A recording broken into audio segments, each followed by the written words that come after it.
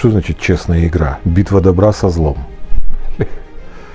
Против бессовестных, лживых мастеров насилия помогут только благородные, порядочные люди, еще большие виртуозы и мастера насилия.